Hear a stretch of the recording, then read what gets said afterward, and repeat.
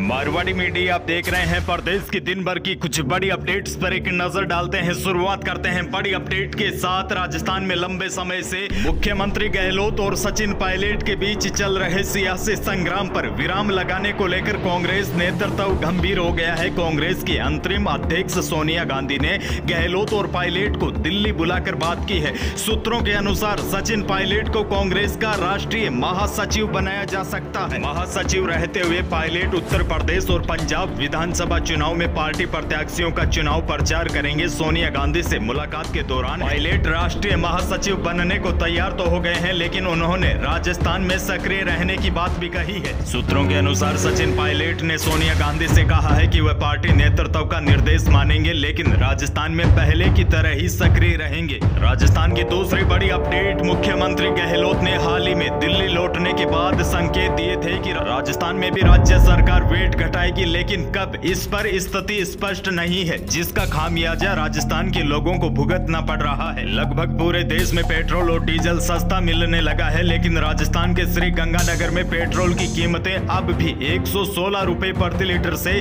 ज़्यादा है, जो संभवतः देश के किसी भी शहर में सबसे महँगा है। इतना ही नहीं, राजधानी जयपुर में भी 111 रुपए प्रति लीटर से अधिक दाम पर पेट्रोल मिल रहा है। मुख्यमंत्री गहलोत ने बयान ज़रूर दिया था कि राजस्थान में भी वेट कम होगा, लेकिन अभी तक गहलोत सरकार प्रदेश में वेट कम नहीं कर पाई है। सरकार अपना खजाना भरने में लगी है, चाहे प्रदेश की जनता महँगाई के बोझ तले दबती रहे। अगली बड़ी अपडेट, सोने और चांदी की कीमतों में आज, यानी कि 13 नवंबर 2021 को भी रिकॉर्ड तेज़ी जारी रही। त्योहारी सीज़न के बाद अब वैवाहिक खरीद परवान पर है। वैवाहिक सीज़न में इस बार फिर से गोल्ड पचास हज़ार के पार पहुँच चुका है।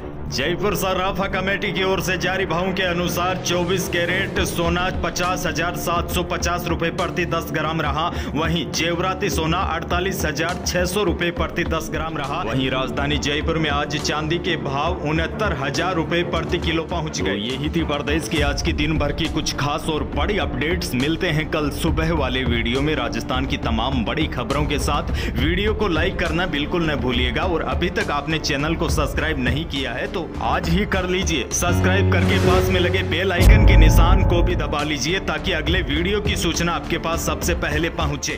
धन्यवाद।